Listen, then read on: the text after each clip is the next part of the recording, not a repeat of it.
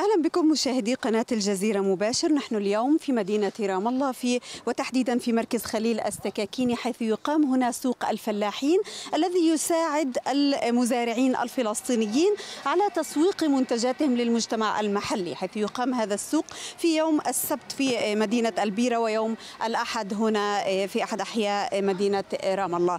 يعطيك الصحة خالتي. يرضى عليك يما نعم. نتحدث مع إم عمار. إم عمار احكي لي شو منتجاتك اليوم؟ والله الحمد لله رب العالمين. إحنا بزرع بامية ولوبيا وبندورة ويقطيني والحمد لله وفكوس. جميع الأشياء اللي بتنزل على الصيفي بزرعها. من وين حضرتك؟ بتونيا يما نعم. ال- المنتجات اللي بتزرعيها اليوم قد إيه ساعدك هذا السوق إنه ت- تسوقيها؟ لا مشى حيلا منيح. الحمد لله. سوق ممتاز. ممتاز. الحمد لله منيح. بتشوفي في إقبال آه. في والله الحمد لله فيه. طب إيش بتواجهك صعوبات في الزراعة؟ كذا يعني همومكم ماشي. نتعب على الأرض بن- بنحرثها بن- بنعشبها وأشياء بتصير منيحة الأرض يعني. بتصير قابله للزراعة. هاي منتجات الصيف بالشتاء شو بتعملوا؟ في الشتاء ما بحب ما بزرع شيء. بنزرع بازيليا وفول. مرات وسنة سنين ايد وسنين لا ما بزرع. يعني معتمدة على آه، الأرض على الأرض. أنا بز... أنا عشت على الزراعة الدغري. الله يعطيك الصحة والعافية. الله يرضى عليك يا ما الله يعطيك ألف عافية أنت الأخرية. يسعدك يا خالتي. نعم. نعم شكرا لك. نلتقي أيضا بمزارعين آخرين أيضا يسوقون آه، منتجاتهم. آه، نعم. نتحدث هنا يعني تحدثنا من وين هذا العنب؟ من آه، بسم الله الرحمن الرحيم من عرابي جنين. تعرفنا بنفسك؟ وليد النحوي. احكي لنا اليوم أنت يعني اللي هو عنب عرابي ومنتجات أخرى أيضا بتسوقها. عندنا عنب في عندنا آه، فريكي في عندنا فاصوليا بلدية هي إنتاج عندنا من المزرعة والفريكي عندك عسل عندك زعتر بلدي طبعا زعتر درجة أولى كله درجة أولى الحمد لله. والعنب آه، بيروتي نوعه نوع واحد بيروتي. ومن المزرعة عندنا أنا أنا زارعهم بإيدي في سهل عرابي. اسمها المزرعة النموذجية.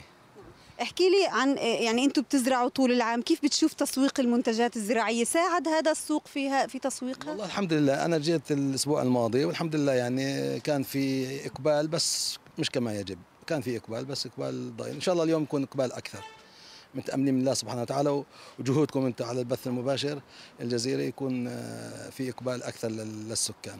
إن شاء الله يكون هناك إقبال وعلى حركة الشراء. أيضا سنتحدث مع يعني مزارعين آخرين. يعطيك الصحة. أهلين الله يخليك. احكي لنا شو منتجاتك اليوم آه، بتعرض؟ فقط تأتي إلى هنا حتى تستطيع الكاميرا أن تأخذ المنتجات. رئيسي أنا بنتج خضار خضروات بيئية بدون استخدام أي مواد كيماوية. حدثنا عن هذا عن هذه الزراعة وهل هي مكلفة أكثر من الزراعة الأخرى؟ وهل يعني ناس تستغل الأسعار مثلا؟ لا بالعكس هي مش مكلفة اولا هي تكلفتها أقل وإنتاجها أعلى. يعني إحنا عكسنا المعادلة المعروفة. الفكرة عند الناس وهذه فكرة مضللة إنه الإنتاج البيئي أقل بيكون وأسعاره أعلى. لا إحنا الإنتاج عندنا أسعارنا مثل اسعار المنتج الكيماوي. في بعض الحالات ممكن تكون أقل في بعض الحالات هو ثابت السعر ثابت عندنا. والإنتاج عندنا أعلى لأنه تكلفة الإنتاج عندنا أقل. ما إحنا ما بنحرث الأرض آه، بنزرع بدون حراثه آه، استهلاك المي أقل بنسبة 50 ل 60% ما بنستخدم أي سماد وأي مبيد كيماوي وبالتالي في عندنا تكاليف إنتاج قليلة جدا. وبالتالي وفي ال- في المقابل في عندنا إنتاج عالي. فلازم تكون التكلفة عندنا التكلفة عندنا أقل وبالتالي السعر لازم يكون عندنا أقل. فإحنا هدفنا أنه إنتاجنا يكون في متناول يد أي آه، شريحة من شرائح المجتمع سواء كانت فقيرة متوسطة الدخل أو عالية الدخل. وفي نفس الوقت إحنا بنقدم منتج بيئي بمعنى إنه صحيا هو الأفضل من ناحية تغذوية كمان أفضل لأنه نسبة العناصر الغذائية فيه بتكون ال- المواد الكيماوية مش موجودة فيه بالمطلق وبالتالي هو لصحة البشر أفضل كثير ولصحة البيئة لصحة التربة لاستهلاك المي الأقل كل هاي طبعا عناصر بتخلينا إحنا نتجه نحو الزراعة البيئية كيف شايف يعني آه، سكان المدن يقبلون على آه، شراء هذه المنتجات؟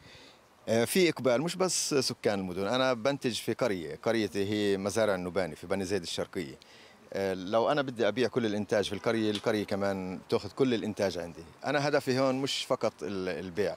هدف التواصل نكون إحنا في تواصل مع بعض كمزارعين لأنه إحنا بنتبادل أفكار وخبرات وبذور وكل هاي الأشياء. في من جهة ثانية هدف الترويج لمفهوم الزراعة البيئية. أنا هون بس جاي عشان أفل يعني أبين للناس إنه المنتج البيئي اولا تكلفته أقل سعره أقل وانتاج أعلى. يعني أنا هدفي أكثر هو اجتماعي من جهة ومن جهة ثانية أروج لفكرة الزراعة البيئية لأنه أنا بروج لهي الفكرة من 20 سنة. لاحظت إنه كمان في ورود أو الصباريات يعني أيضا ليس فقط خضروات. صحيح هاي من إنتاجي. فأنا بنتج كمان صباريات ولاحقا راح يكون في عندي إنتاج ورود يعني باكات إنه الشخص يكون عنده باكة ورد طبيعية يعني لما بشم هو ال ال الوردة الزهرة إذا كانت وردة جورية أو شيء من هالنوع لما يشمها ما يأخذ معاه كمان بقايا كيماويات يشم وردة جورية خالصة بدون أي مواد كيماوية. فكمان الأشتال هاي إحنا بننتجها وبنسوقها. كل التوفيق إن شاء الله. يعني سننتقل إلى مزارعين آخرين جاءوا إلى هذا السوق مشاهدينا ليروجوا لمنتجاتهم ويسوقوها أيضا في المجتمع المحلي. يعطيك العافية. الله يعافيك يا رب. تعرفنا على منتجاتك اليوم هي من العسل لكن لاحظنا إنه في كريمات صابون. خبرنا عن منتجاتكم شوي طبعا إحنا كل المنتجات اللي عندنا بلدية وهذه يعني مهنة قديمة عندنا في العيله من زمن الأجداد. إحنا مناحل رواب فلسطين اسمي عثمان راضي من اللبن الغربية. بديت المنحل هذا قبل 30 سنة تقريبا كهواية. وكانت يعني مجموعة دراسات حول يعني حول الإنتاج العسل العضوي الطبيعي لأنه كنا نفتقر بصراحة لإنتاج العسل العضوي وإنتاج العسل الطبيعي لحاجته العلاجية طبعاً. فبديت في قليل عدد قليل من الخلايا وطورتهن يعني باعتماد الزراعة التقليدية أو تربية النحل التقليدية العادية اللي تعلمناها من الأجداد. وبعدين اتبعنا الطرق الحديثة في تربية النحل بأسلوب إنتاج عسل عضوي. يعني مثلا فيش ممنوع نستخدم العلاجات الكيماوية. إحنا بنستخدم الأعشاب الطبية بنستخدم الزعتر في العلاجات النحل. التغذية السكرية استغنيت عنها عن طريق تنقيل النحل من منطقة لأخرى حسب المرعى. نحلنا بيعتمد على يعني ترحيل بنرحله من مرعى لآخر. عندنا أصناف عديدة نتيجة تنقيل النحل وترحيله من منطقة لأخرى. في عنا عسل سدر في عنا عسل جبلي في عنا عسل مرار في عنا عسل شوكيات في عنا عسل زحيف وإلى آخره حسب المنطقة. المنتجات اللي عم يعني تشتغلوها المنتجات هذه المنتجات هذه بما إنه العسل هو علاج يعني يخرج من بطونها شراب مختلف ألوانه فيه شفاء للناس. مش بس العسل يخرج من بطون النحل يخرج من بطون النحل السم سم النحل يخرج من بطون اللي هو خبز النحل بيضيف عليه انزيمات النحل و يخرج من بطون النحل العكبر كمان العكبر هذه مادة يعني مادة علاجية مادة تحتوي على العديد من المضادات الحيوية. في أوروبا المادة هذه بيبيعوها في الصيدليات كدواء يعني كدواء دواء طبيعي ودواء يعني ما له أضرار جانبية ولا له أعراض جانبية. هل الاعتماد نعم. هل الاعتماد على الأمور الطبيعية وتنقيل النحل وغير ذلك؟ جعل التكلفه أعلى أم إنه لم تختلف التكلفة على المواطن؟ أكيد أكيد ال ال كل شيء له تكلفته. كل شيء يعني كل شيء اللي بيتعب عليه الواحد بيكون تكلفته حسب درجة التعب عليه الجودي. قديش أنت بتتعب على المنتوج تبعك قديش بيكون جودته أعلى. إحنا لما ننقل النحل الهدف إنه نحصل على جودة أعلى. طبعا بدها تزيد التكلفة. على على الأكيد بدها تزيد التكلفة. في إقبال؟ ولكن خلينا في التكلفة. بتزيد التكلفة ولكن بتظلها في نطاق المعقول. يعني كيلو العسل عندنا 100 شيكل فقط لا غير. هذا هو سعر العسل في كل العالم. يعني أنا رحت على كثير من الدول وشاهدت معارض. سعر العسل يتراوح بين يعني 30 دولار 35 دولار. في هناك عسل يعني العسل السدر ممكن يوصل لمبالغ حتى 100 دولار تقريبا.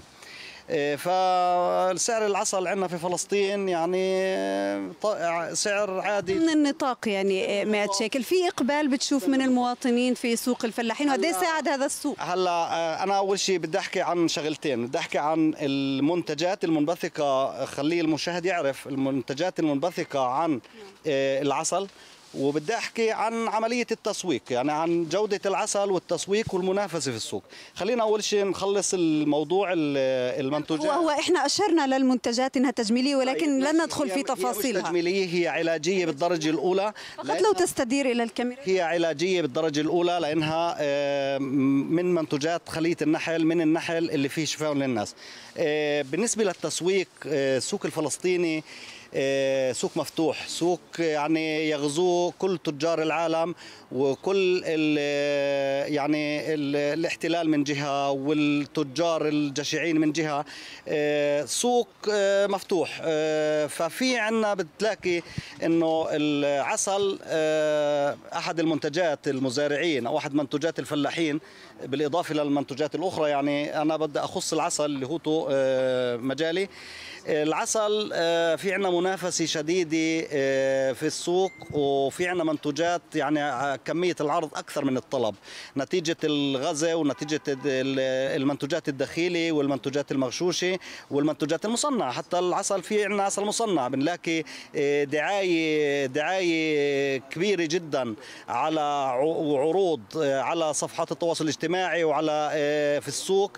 آه، يعني كيلو العسل آه، يباع مع آه، حوالي 2 كيلو أو 3 كيلو عسل يباع بسعر كيلو العسل ال- الجيد. باختصار كيف المواطن يميز؟ يعني أنا ممكن أشوف العسل وما أعرف أميز فيه فكيف المواطن يميز قبل يشتري؟ أنا بنصح المواطن المواطن بيعرف إنه العسل الرخيص هو عسل مغشوش. المواطن بيعرف هذه ال هذه ال يعني هذه الميزة موجودة وخصوصا في العسل بيعرف إنه العسل ال- الرخيص هو عسل مغشوش. ما بدي أحكي عن السعر. المواطن لازم يتحرى انه ياخذ عسله من النحال مباشره. إحنا نحالين وفلاحين ومعروفين. إيه، ما بدي أروح أجيب أنا عسل من برا و... تنشطوا على مواكل على مواقع التواصل الاجتماعي مثلا بحيث يسهل الوصول؟ في عندنا نشاطات في عندي نشاط. أنا في عندي صفحة على مواقع التواصل الاجتماعي اللي هي عسل روابي فلسطين ومنتجات مناحل روابي فلسطين. إيه، نشيط عليها وبحط إعلانات دائما وبحط المنتجات وبعرض منتجاتي عليها وبعرض الأسعار.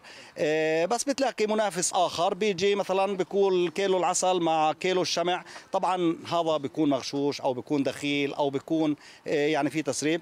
إيه، بالتالي يعني في في منافسة في منافسة نتيجة عدم الرقابة. لا يوجد رقابة في السوق الفلسطينية على العسل ولا يوجد حماية من الحكومة الفلسطينية للعسل وخاصة وزارة الزراعة وزارة الاقتصاد وأنا بقولها وبوجه لهم رسالة إنه يا عمي إحنا منتجين. ادعمونا فقط احمونا احمونا من المنتج الدخيل احمونا من المنتج المغشوش على أساس إحنا نقدر إحنا نقدر نقدم للمستهلك عسل آه، ونقدر نستمر. لأنه إذا ظل الحال على ما هو عليه يعني رايح يتلاشى قطاع النحل ومش بس قطاع النحل راح يتلاشى آه، وجود الفلاح والمنتج الفلسطيني والحفاظ المحافظ على الأرض. كما تلاشى القمح عنا. إحنا زمان آه، كنا نزرع كل شبر بالقمح. آه، اليوم فيش حدا بيزرع قمح. تلاشى مطالبة بحماية المنتجات نعم. مطالبة من وزارة الزراعة ووزارة الاقتصاد والأجهزة الأمن إنه يحموا المنتج الفلسطيني البلدي. ويمنعوا دخول المنتوج الدخيل ويمنعوا آه، وبطالب بوجود رقابة على إنتاج المناحل بحيث وجود إنه رقابة، نعم. نعم، هذه ينتج المطالب. عسل آه، جيد. عسل نعم إن شاء الله. يعني هذه مطالب للجهات الحكومية بحماية المنتج المحلي ال- الفلسطيني ومن المنتجات المغشوشة من جهة وأيضا من المنتجات الدخيلة يعطيك الصحة عمي. أهلا وسهلا أهلين أهلين. أهلا وسهلا. عمي آه، خبرنا إيش المنتجات اللي بتبيعها وهي من أرضك؟ نعم هذه المنتجات من ارضنا أنا من بتونيا. أنا اسمي الأستاذ عبد الله نبهان من بتونيا. هذا التين من تين. أنا في لنا كرم تين. نازرعين حوالي التين يعني. وهذه اللوبيا هذا التين بنبيعها هذا بتبيع العلبة فيها تقريبا كيلو ونص 15 شركة. انا عندنا اللوبيا برضه من عندنا من إنتاجنا. هذه اللوبيا اللوبيا البلدية الأصلية البتونية هذا. هذا كله عندنا من بتونيا. كمان عندنا العنب البلدي العنب البتوني هذا بنزرعه عندنا هون بس إحنا بنواجه هذا برا من هون من الخنازير. الخنازير خطرات بيجينا التين لما يخبى هان بكل التين بخربنا العنب. هذه أكبر مشكلة إحنا بنعاني منها ولذلك بنقوم بتسييج آه رغم بنسيج البستان إلى انه بضل إيش؟ في مجال إن الخنازير تفتح في الأرض وتشوهن هذا هو. هل توجهتوا لجهات رسمية لمساعدتكم في الحد من يعني أنتم هنا مدينة بتونيا بالقرب من مدينة رام الله يعني؟ نعم.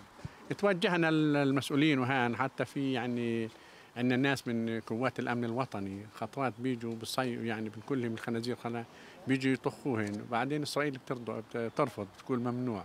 المناطق القريبة على إسرائيل. واهل الخنازير ضالين في المناطق اللي تسمى هم بيطلقوا ال- الخنازير ممكن يعني لتدمير ال- المنتوجات يعني إسرائيل بيحاولوا بيطلقوهن وبيحاولوا يتكثرن في المناطق المحمية من طرفهم. وبعدين في الليل بيجينا على مزارع على مزارعنا بيخربن كثير. يعني أكثر الفلاحين إحنا في بتونيا يعني عندنا مشكلة كبيرة جدا اللي هي خاصه الفكوس التين العنب الخنازير بتعمل على دمار يعني خطرات. بتلاقي الفلاح طول السنة في يوم واحد دمر كل المحصول تبعه. وبعدين لما بده يشكي ما فيش. إحنا حكومتنا حكومة فقيرة ما بتقدر تدعم كل الفلاحين. الفلاح بده يدعم حاله بده يدير باله على حاله. بس إنما هذه بتكون أعمال مساندة يعني إحنا بنشتغل فيها كأعمال مساندة للفلاح بجانب الوظيفة بجانب العمل ال- الرسمي اللي إحنا بنكون فيه. أنا أستاذ مدرسة آه ومتقاعد. بتشجع طلابك على العودة للارض وال- والزراعة؟ أنا بشجعهم بشجعهم كثير كثير وحتى لما بشوفهم وبشوفوني بينبسطوا كثير. حتى مني الدكتور الأستاذ الدكتور سعد أحد تلاميذي. انت يعني شعورك اليوم بتشوفه كمان عم عم يتبع نفس الخطوة. نفس الخطوة نعم. بعدين تعلم وصارت كمان هو باعتبار ال- الناطق الرسمي باسم الحكومة فلسطين لإعطاء دورات للفلاحين والمزارعين على مستوى الوطن العربي وحتى العالم الإسلامي برضه هنا. آه يعني ممتاز. الله سبحانه وتعالى أكرم بالعلم وبالعلم طبعا بتزدهر الأمم وبتتقدم الحمد لله رب العالمين. وإحنا الفلاحين إحنا ما في عندنا فلاحين باسم فلاحين لأنه الأراضي اللي عندنا أصبحت عن طريق الارث صارت صغيرة الملكيات الزراعية صغيرة والملكيات الزراعية الصغيره ما بتجيب هم هم. عشان هي في عندنا مشاكل.